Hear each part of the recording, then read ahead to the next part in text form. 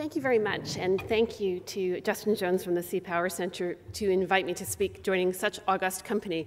I think, um, from my perspective, I know that conference attrition is probably going to set in, so I will try and be brief and interesting. Um, I think that actually it turned out quite well, as these things often do in planning, that Professor Dibb and I are going to speak to some slightly different but slightly related concepts. And I think the crucial thing that he mentioned that I'd like to bring up is that clearly we are moving away from an era of major war. And that means, particularly when we look at government rhetoric about what security threats are, they're actually very non traditional. And what I'd like to do today is to talk a little bit about how conventional strategy ought to meet non traditional security threats and how those things converge in the maritime space. So I think that that's largely the structure of my talk. If I get some time towards the end, I may refer to some of the problems of addressing maritime space within academia and what's happening with that today, but we'll see how we do for time. Um, I think that, that Paul alluded to quite correctly, there's a significant problem of sea blindness in the absence of this major warfare that we saw in World War II. People no longer see large carrier groups operating as war-fighting machines. And in Australia, that's been compounded by the fact, of course, the two most recent major conflicts were land-based conflicts in the public mind in which navies played a very peripheral role. Now, at a conference like this, I think we all understand, obviously, the importance of the maritime, but I think it's very important to understand that that understanding is not actually widely and generally shared. I think most people actually have very little idea and very little understanding of what navies actually really do. And that's partly because of the presence of land conflicts, and it's also partly because of the fact that navies operate offshore. We don't see them, we don't understand what they do. And that's particularly problematic because a lot of the current security threats that states worry about, everything from um, illegal migration to people smuggling to terrorism to piracy, has a significant maritime component. And what I'm going to do is I'm going to talk you through that because when we think about maritime issues and the importance of the Navy, what most people think of is this, which is the pattern of Australia's major export partners and how we actually get exports to those markets.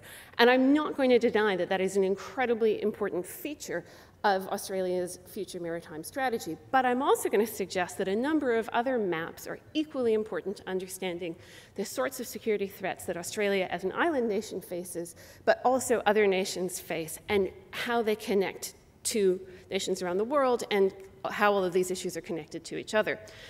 So, when we think about significant threats, what we find is that they all have a significant maritime component, whether or not we're talking about drug trafficking, whether or not we're talking about patterns of illegal migration, whether or not we're talking about patterns of human trafficking, usually for the sex trade, but not always, whether or not we're talking about international pirate incidents and counter piracy, and whether or not we're talking about illegal and I'm just going to call it IUU fishing, it's a mouthful.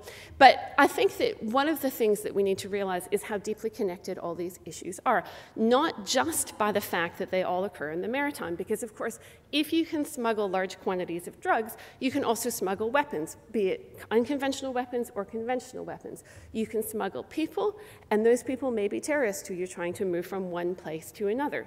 So the maritime is an excellent pathway for all sorts of illicit behavior, which may be criminal but has a significant potential international security impact.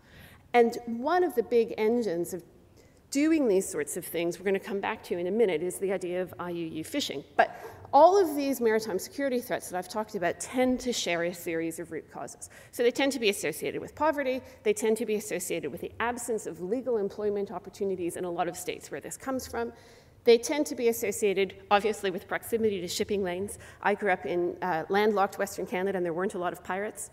Um, often there is a significant component of environmental threat, either directly in the case of fishing or in the case of a very compelling narrative as to why the illegal behavior is occurring, which is what's happened in the case of the Somali pirates who claim that the reason why they became pirates is because, um, because of environmental degradation and illegal fishing.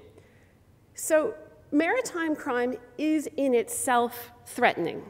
And it's threatening in terms of the cost of diverting shipping around pirate routes. It's threatening in terms of the dangers that people being smuggled into countries like Australia may pose, but it also facilitates much broader and wider security threats. And since I've been researching in this area, one of the things that has struck me is the importance of IUU fishing.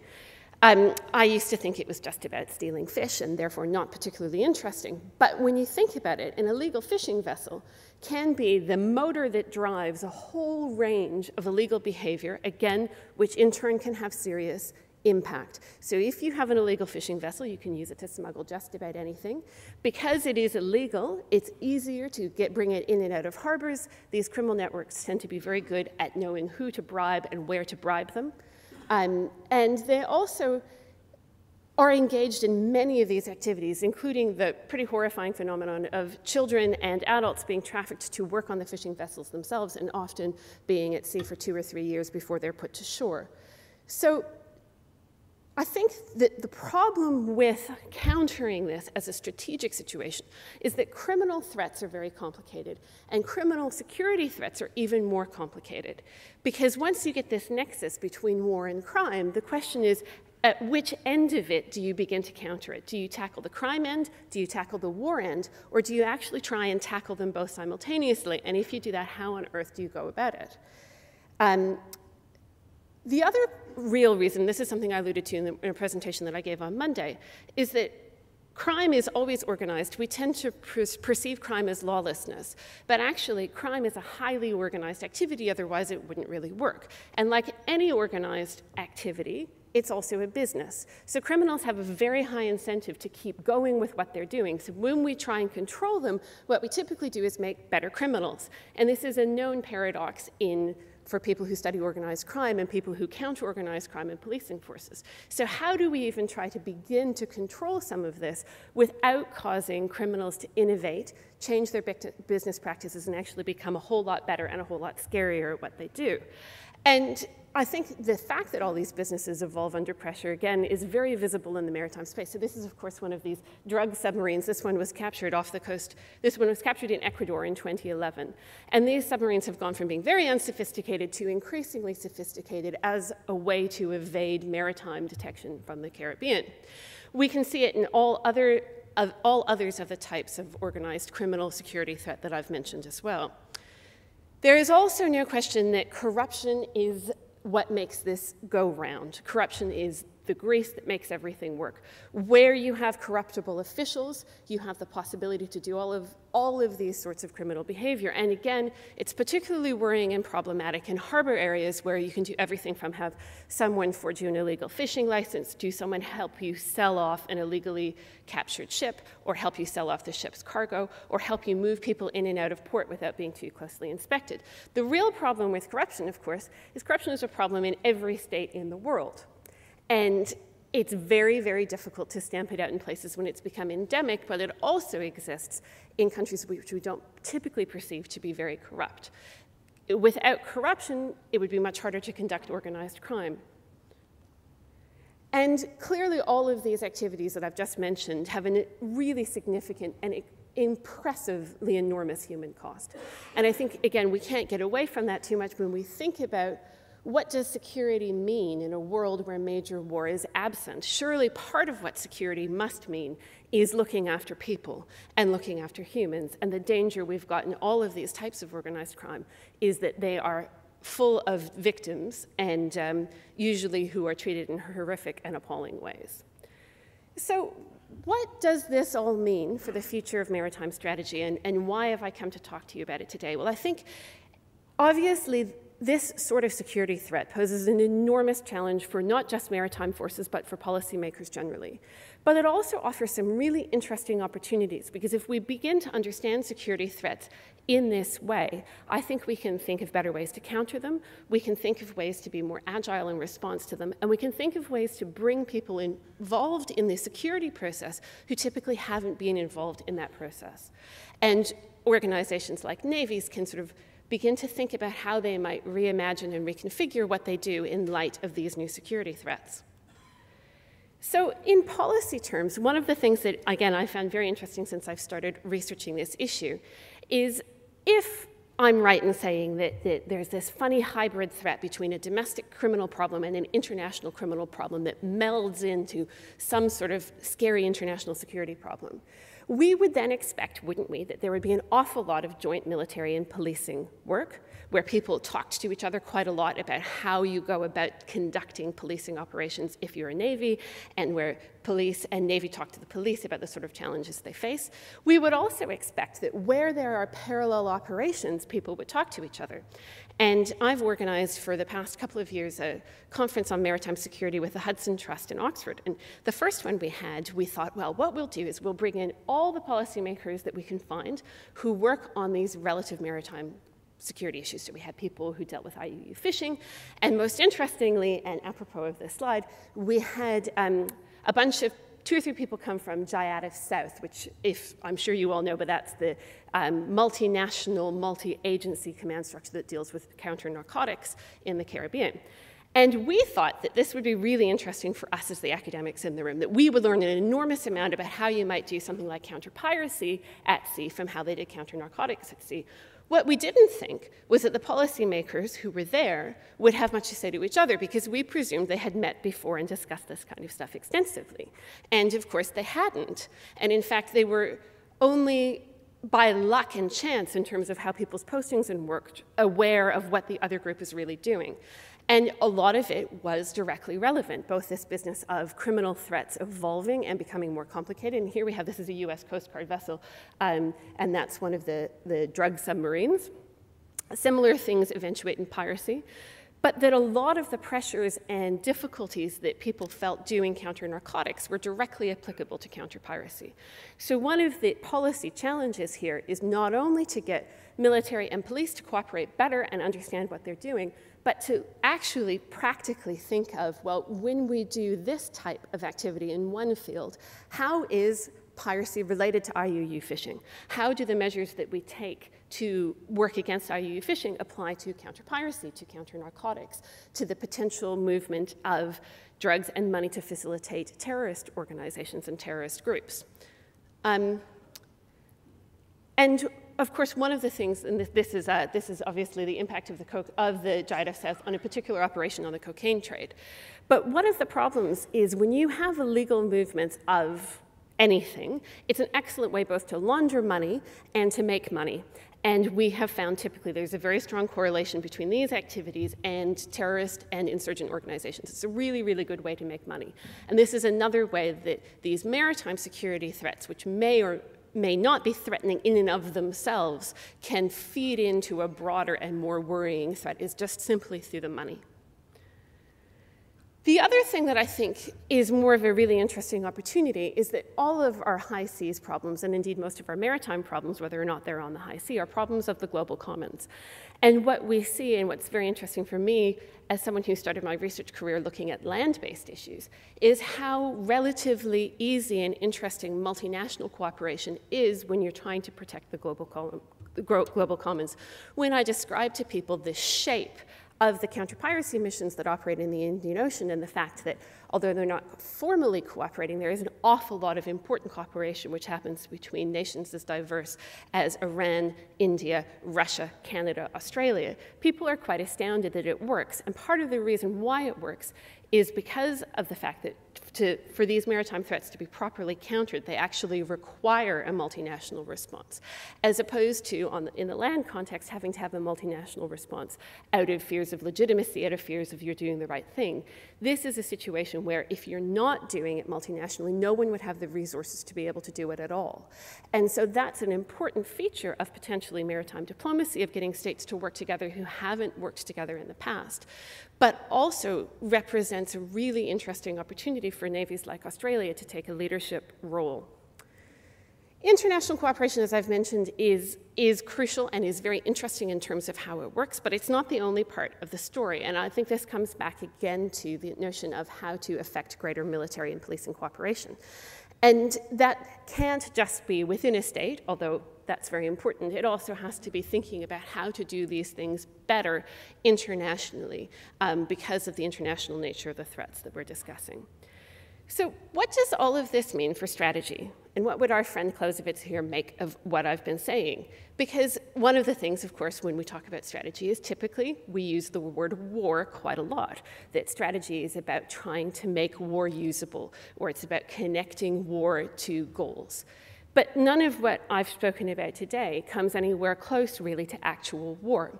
So, do our conventional notions of strategy still apply? And if they do, how do they apply? And if they don't, what does that mean? And I think these are really important questions that we need to begin to grapple with.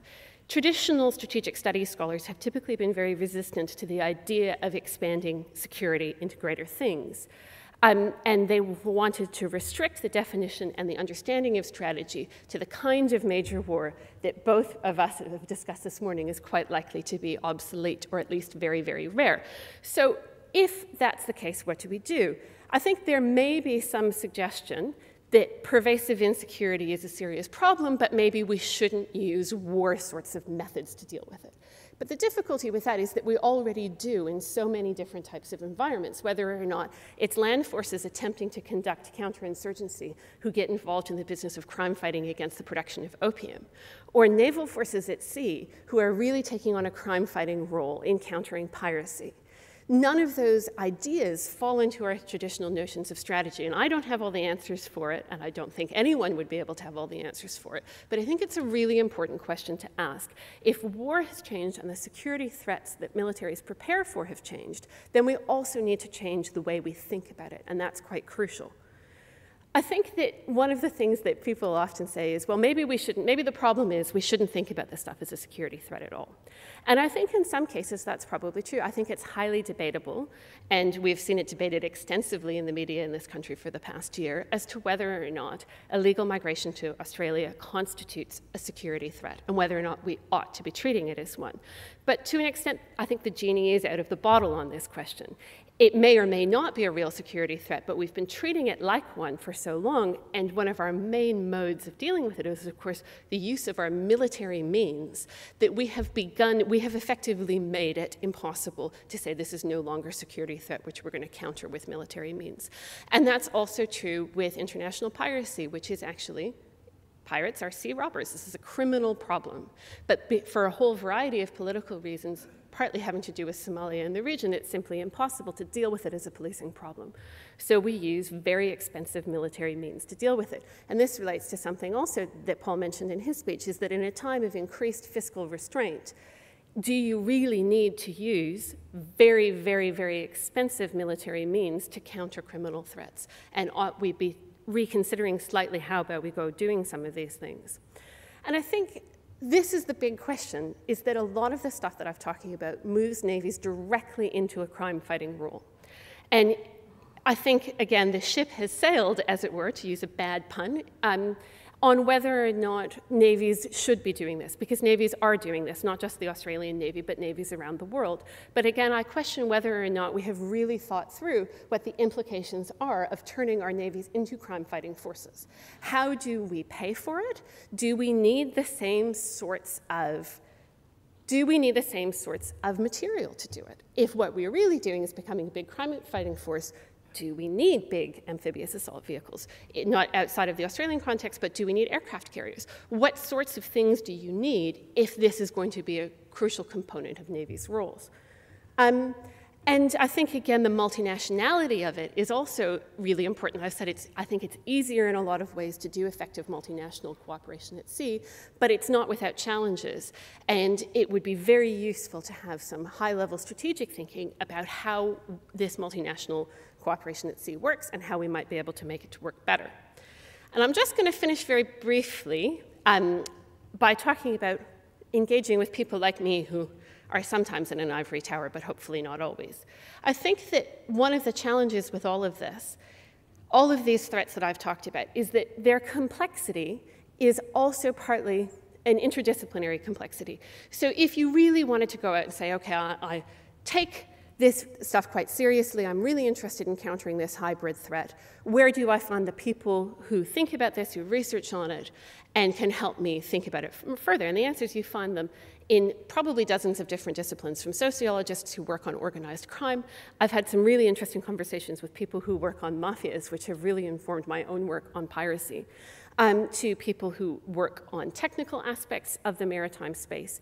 And all of these people can be brought in to assist and help navies in sorting out their problems. And I think that is actually crucially important because um, this number represents the amount of formal training I've had on maritime issues during the course of my PhD.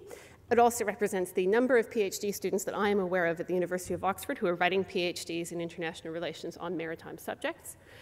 I think one of the problems we've got is that the focus on land conflict has meant that an awful lot of academics in the social science space, not in the science space, are working extensively on land based military questions. So I can think of dozens of people who are writing PhD theses on counterinsurgency.